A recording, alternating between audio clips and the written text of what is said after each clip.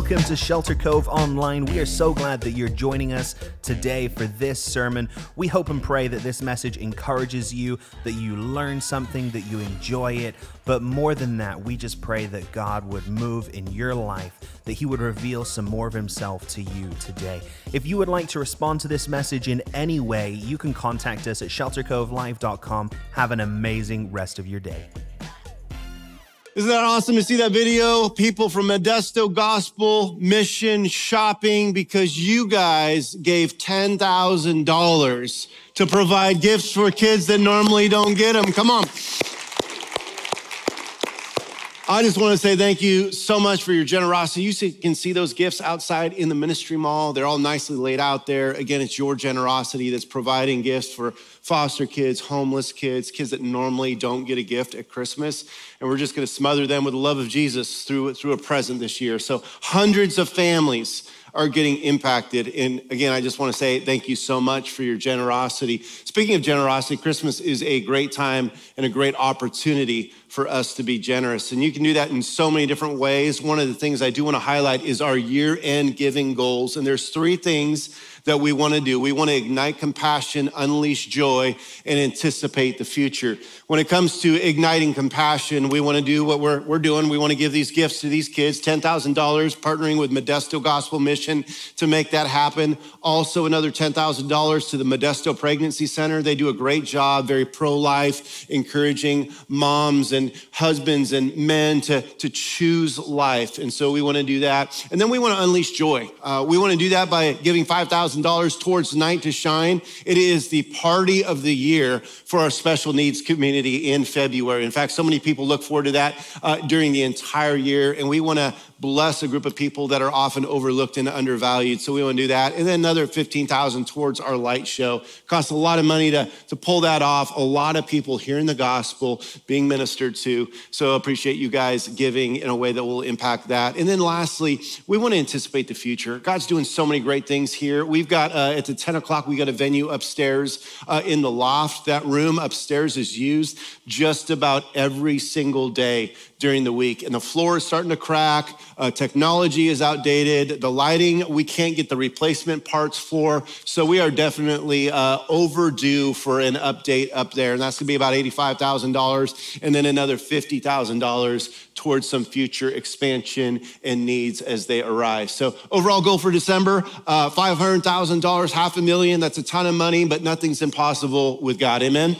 And so here's my, my request is that every single one of us would just pray pray about a one time gift above and beyond our normal giving. And for some of you, that may only be $5, others, $20, $100. Some of you, it's $10,000 because you have been beyond blessed. But I'm sure and I'm confident that as we pray and do our part, God's going to take the little that we give, He'll multiply it and provide for every single one of our needs. So let me pray for our offering, our giving. You can give through the uh, year end giving envelopes and the seat backs in front of you. You can hop online drop down menu, year end gift, and I'm excited to see what God's going to do. God, we love you.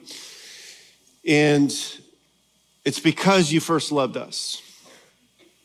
And God, as we give, God, would you take these offerings, these acts of generosity? Would you multiply them? Would you expand your kingdom?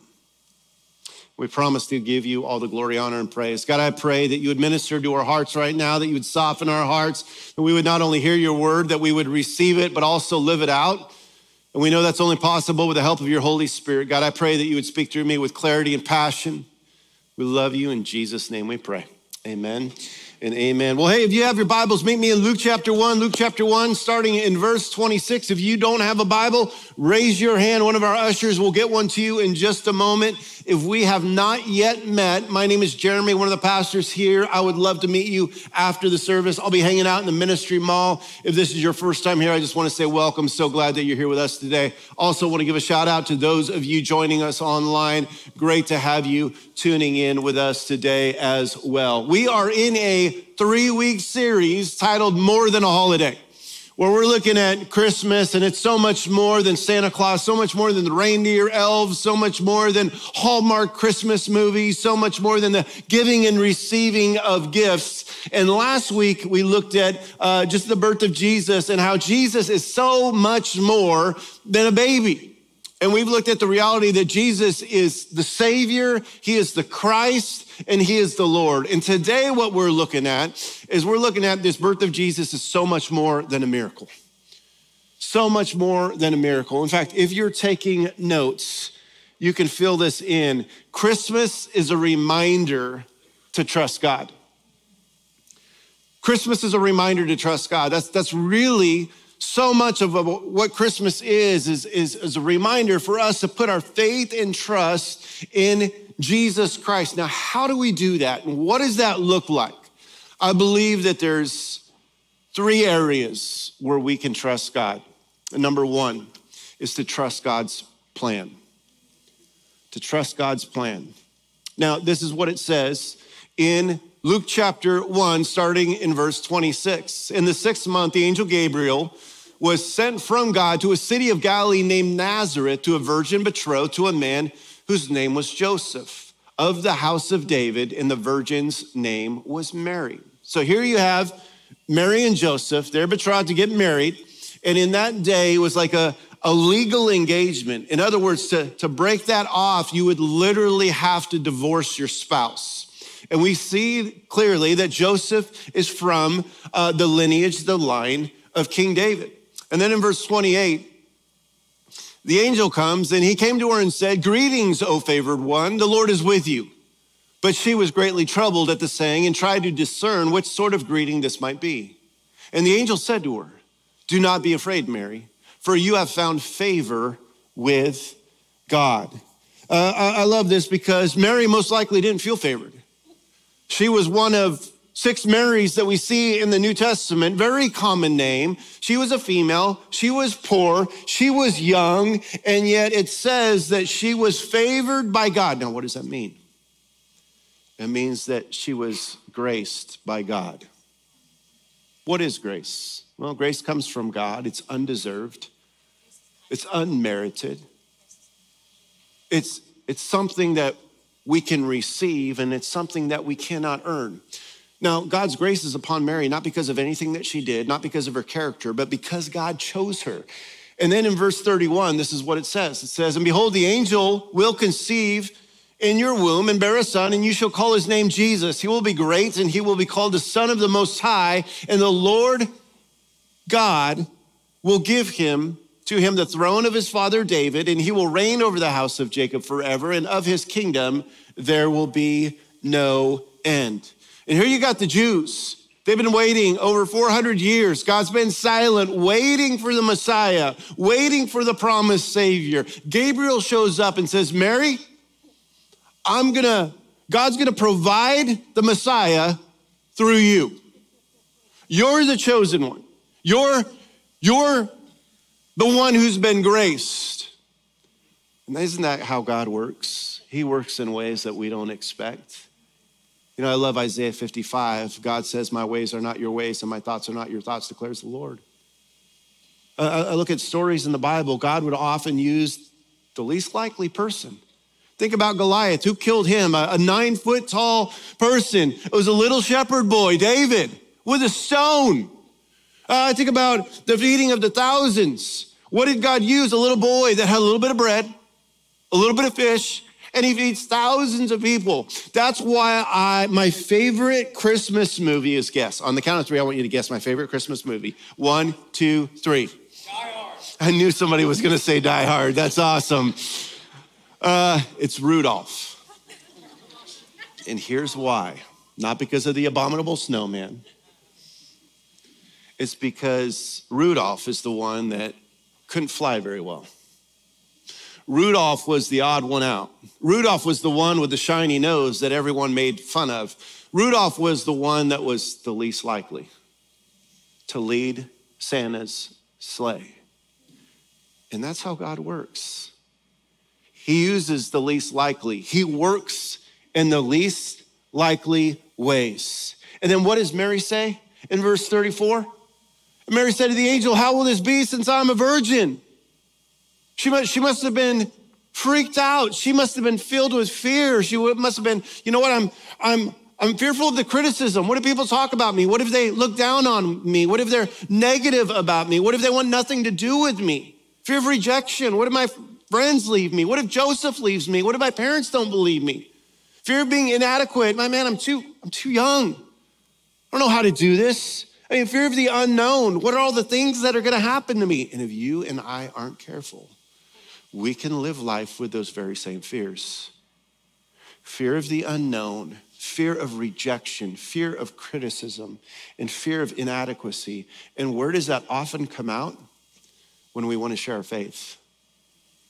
When we tell, want to tell people about Jesus, when we want to share a story, when we, we want to just talk about the goodness of Jesus Christ, we think, man, what, what, what if people criticize me? What if people reject me? Uh, what if people, I, I, just feel inadequate? What if somebody asks me a question about the Bible I don't have the answer to? Uh, I, I, just feel so, what if the unknown? What, what if, and our whole life can be what if, what if, what if, what if, what if, what if? Mary was like, how is this possible? Because I, I'm a virgin. Here's what fear is F E A R it's false evidence appearing real.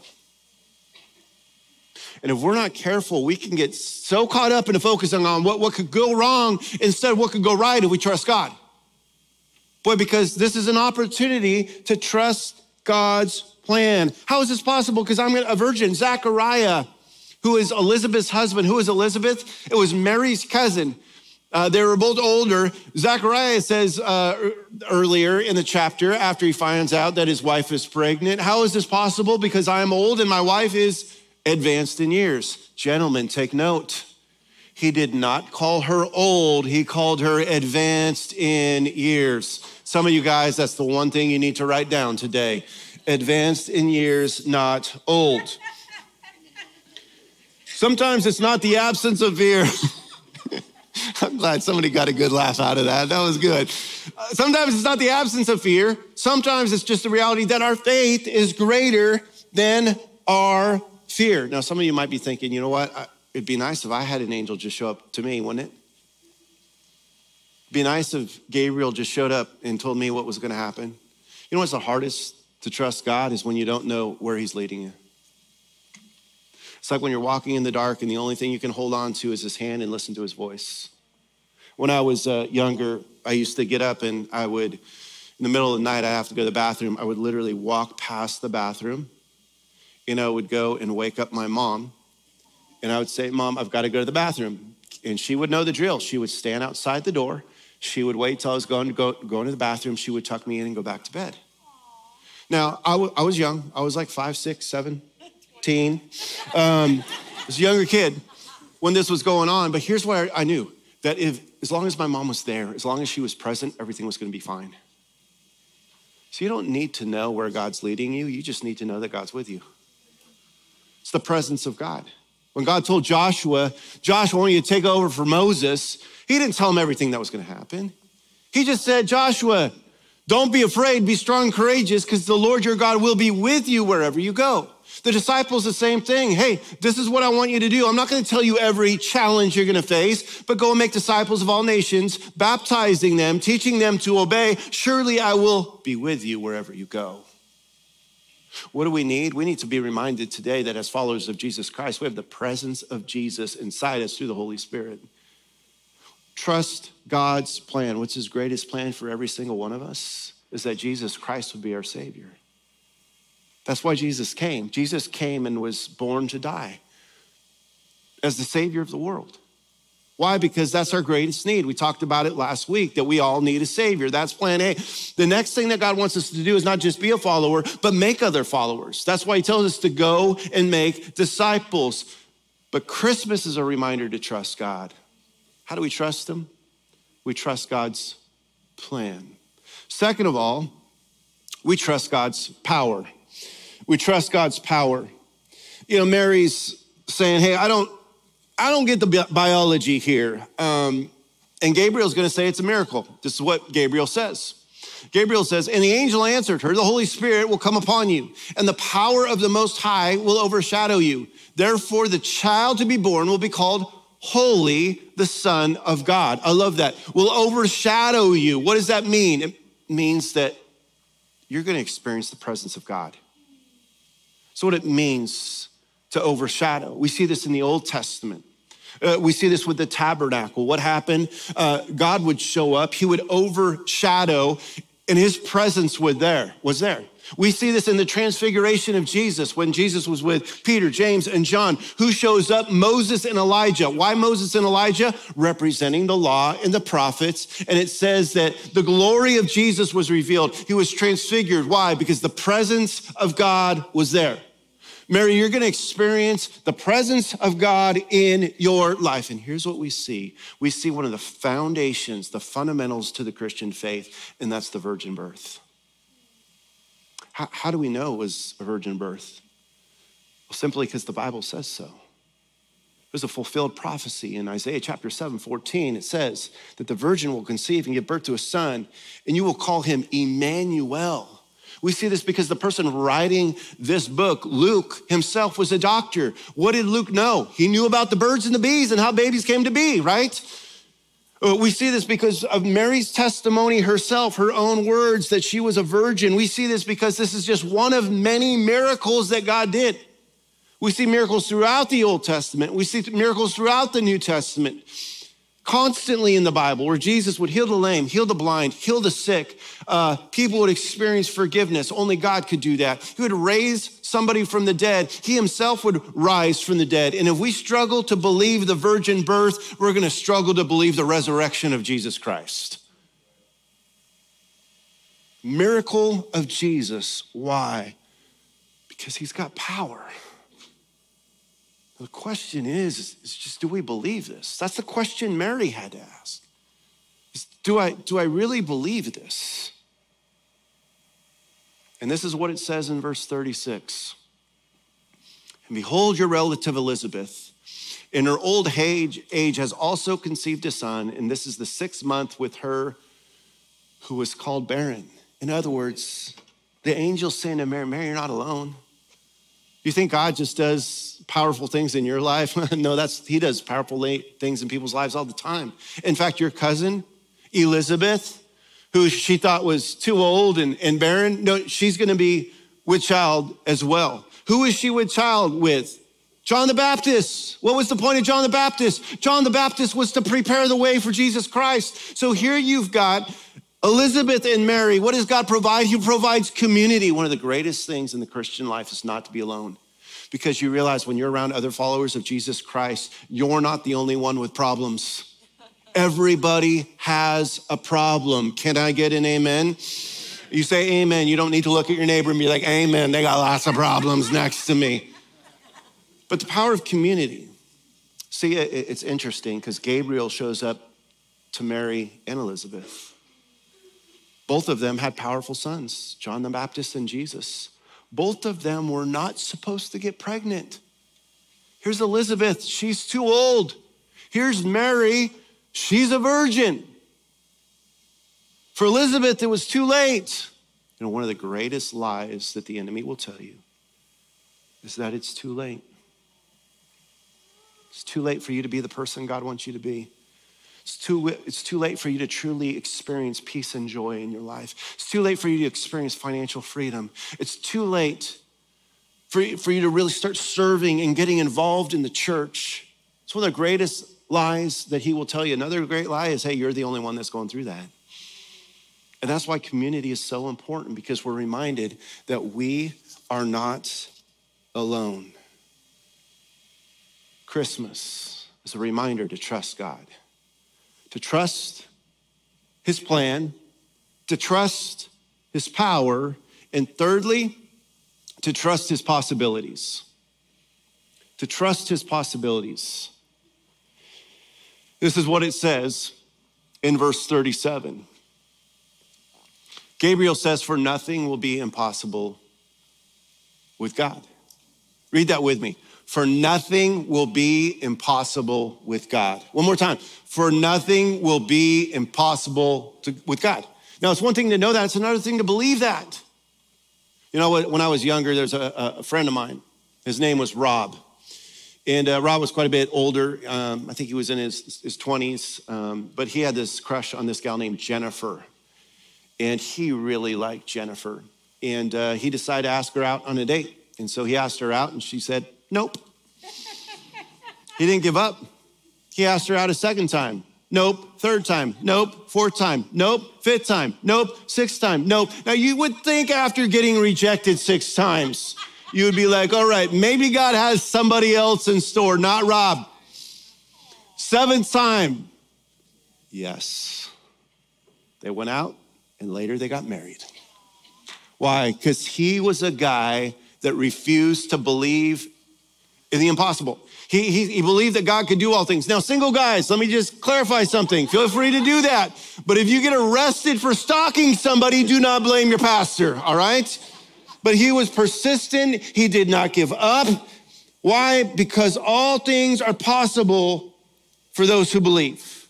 You know, I think about Jesus. Jesus said, with man, this is impossible. With God, all things are possible. In Genesis 18 14, God said to Abraham, Is anything too hard for the Lord? I will return to you at an appointed time next year, and Sarah will have a son. This is after they had been trying to have a child for years. They were old in age. Jeremiah says, Nothing is too hard for you. God can do all things except one. It is impossible for God to lie. What does that mean? It means the one person you and I can trust is God. The one person that we can depend on is God. The one person we can give our life to is God. The one person who will never change is God because God will never lie. And then, verse 38, what's Mary's response? Mary says, Behold, I am a servant of the Lord. Let it be to me according to your word. And the angel departed from her. I love this because serving isn't just something we do. Serving, a servant is who we are. Mary realizes, hey, my identity is serving God. I'm a servant of the Lord. What does that mean? That means, God, whatever you want, whatever you have in store, whatever your plan, whatever your purpose. God, it's not about me. It's not about my life. It's about serving you. I'm going to accept it. You know, we, we pray, you know, Father, your, your will be done um, not will you change your will, right? Your, your will be done in my life. And here's the difference between faithful people and unfaithful people, because at the end of the day, Mary chose to be faithful. Unfaithful people give up. At the first sign of difficulty, Again, unfaithful people, they just give up. At the first time that something is difficult or hard, they give up. You know what faithful people do? Faithful people are determined. Faithful people are diligent. Faithful people are persistent. Faithful people do not know how to quit. And what would it look like for God to work in your heart in such a way today where you say, God, I've been unfaithful, but I just want to be faithful today? Because I believe most of it is attitude. I love what Charles Swindoll said. He put it this way The longer I live, the more I realize the impact of attitude on life. Attitude to me is more important than facts. It is more important than the past, than education, than money, than circumstances, than failures, than success, than what other people think or say or do. It is more important than appearance, giftedness, or skill. Next slide. It will make or break a company, a church, a home. The remarkable thing is we have a choice every day regarding the attitude we will embrace for that day. We cannot change our past. We cannot change the fact that people act in a certain way. Amen.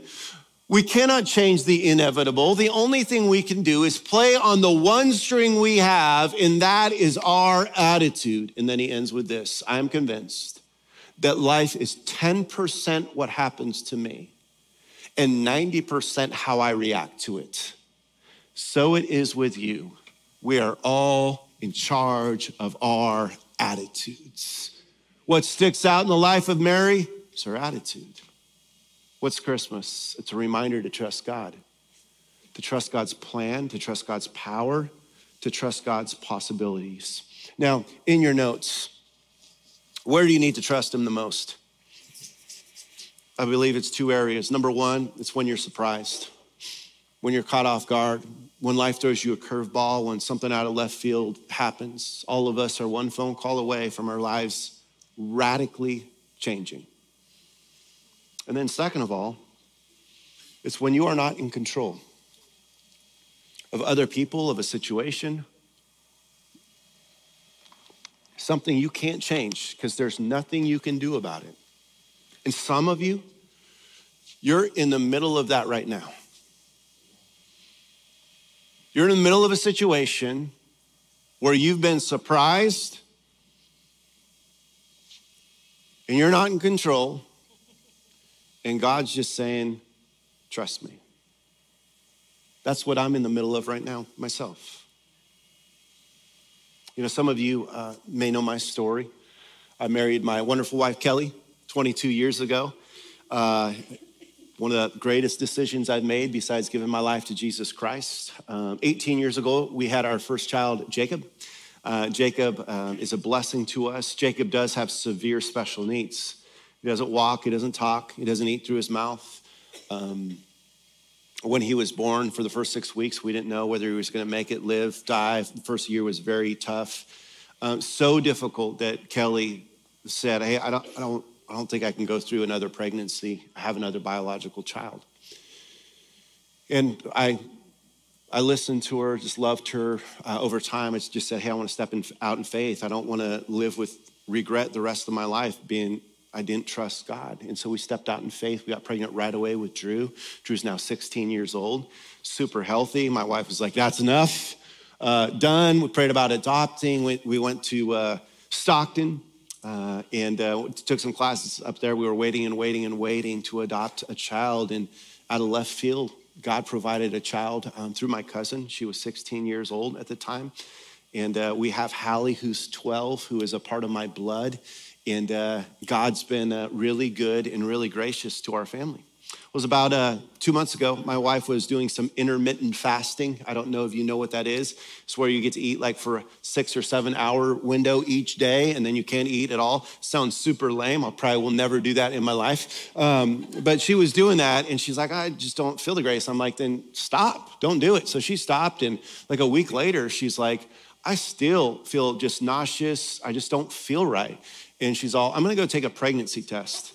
And I laughed. I'm like, sweetheart, you know, I had my vasectomy three years ago. Like, uh, I had the snip snip. Like, I, go ahead, you can do it. So she goes to the dollar store and gets uh, a really good pregnancy test. So they're high quality there, and comes home and she takes it right away. It's positive. And I'm like, say what? And I just start, I just start laughing. And she's like, Jared, come with me right now to Walgreens. We're getting a good one. And I'm like, okay well, we'll go to Walgreens. And she's like, you pick one out. I don't want anybody to see us over here. I'm like, okay, I'll pick one out. I'm like, you do know somebody from Shelter Cove is going to see us in Walgreens, right? She's like, oh, just get one. So I pick one out, get one, turn the corner. Hey, Pastor Jeremy. I'm like, hey, how are you? Yeah, good. Nothing, nothing going on here. Just kind of hanging out with the wife, you know. Uh, and so we bought the pregnancy test, um, took it home. She took it right away positive again. I'm like, Sweetheart, can I just ask you a just a random question? Have you done anything with anybody lately that I should know about? And she's all, Chair, no. You know I wouldn't do that. And if I did, I would have told you. But no, I'm like, I know, I know, I know. And she's like, if you want to go get checked out, you, you can go get checked out. I'm like, no, I don't, I don't need to do that. And I started thinking, okay, this really did happen. It could happen again. And if there are still swimmers on the swim team, then we might need to figure out like what's going on. So I went, got checked, and tur- turns out there are still just a few Michael Phelps swimming around in there, you know? and so I was like, wow, uh, okay, there's still a couple little engines that could going on. And so here's the reality, church. I'm 47. My wife is 44, and we are with child. We are expecting a little baby. Yeah, no retirement for me. Yep, I'll be working till I'm 150. Yeah, I've already thought about all the jokes, you know. the kid's like, hey, uh, let's go visit dad at his home. What home? Convalescent home, all right? Um, People ask me, you know, Jeremy, how are you feeling overall? Pretty strong, you know?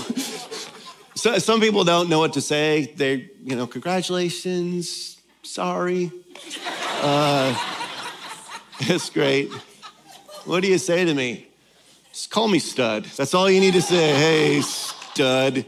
Um, here's the crazy thing about this my wife Kelly's biggest fear, biggest nightmare is this. And here's why good chance that we could have another special needs child. Another chance with a child with chromosome disorder. For a while, she was just so embarrassed. She didn't want to tell anybody. And I'm like, don't be. And she's like, well, it's all your fault. And I'm like, look in the mirror, girlfriend. It is your fault. You know, in fact, it was uh, after, right around Thanksgiving. I just told her, sweetie, I'm so thankful for you. She looked back at me and said, I'm not very thankful for you right now. She's just been, been dealing with just a lot of concerns of, of what could go wrong. And it's been a great opportunity for me to encourage her. I still get nervous and I'm scared. And yet I've been, my prayer has just been, God, I trust you. God, I don't even need to tell you what I want, what I think, because at the end of the day, it doesn't matter. I just, I just trust you. More recently, I've been just um, praying for a healthy little baby. And it's, it's crazy because for, for such a long time, we had Hallie, and I always, that'd be great to have another little girl. And uh, it's like God's like, Jeremy, I remember that prayer because we're going to have a little girl, which is unbelievable and amazing considering I didn't think I could have a child. Talked to my doctor that did the surgery on me. Laugh it up, folks. No, um, I laugh for like four weeks, you know. Um, but she's like, yeah, there's like a one in 2,000 chance this happens. I'm like, man, I'm the one in 2,000 right here. Um, so far, we've, we've gone to appointments at six weeks, eight weeks, 12 and a half weeks, which was Friday. And so far, everything looks great. Kelly's 12 and a half weeks pregnant, which is something to praise the Lord for. Now, at 20 weeks, we're going to have some more tests and some more ultrasounds, and it could reveal that there's challenges and everything could be okay. But what are we doing right now? Just trust in the Lord.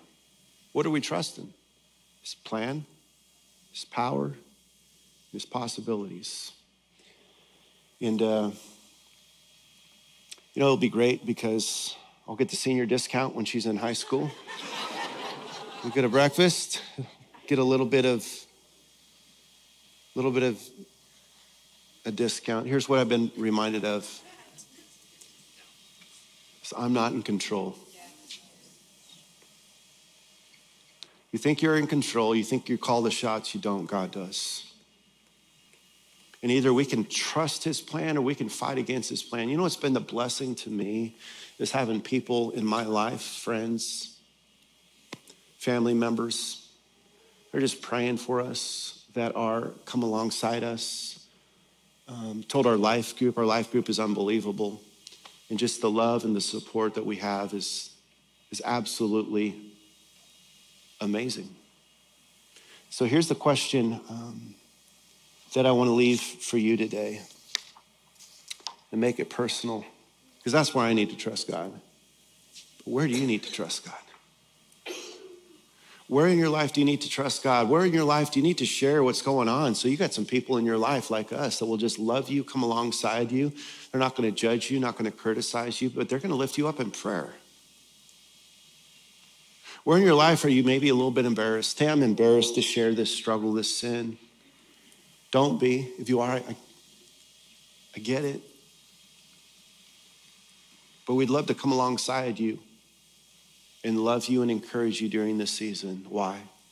Because Christmas is a reminder to trust God, to trust His plan, to trust His power, and to trust His possibilities. Let's pray. Heavenly Father, Thanks for being so good. And God, I know I'm not the only one that's in a season of really needing to just lean into you and trust you. God, for those that are here that are just trusting you for, for a spouse, trusting you for a child, trusting you for a friend, trusting you financially, trusting you in a health issue. God, would you just infuse and strengthen our faith today, knowing that we are all in this together? God, different challenges, different opportunities, different situations, different circumstances.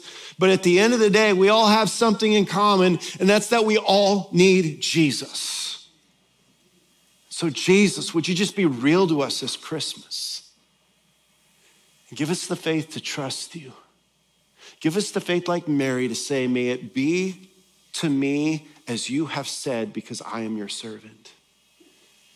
If you're here today and you don't yet have a personal relationship with Jesus,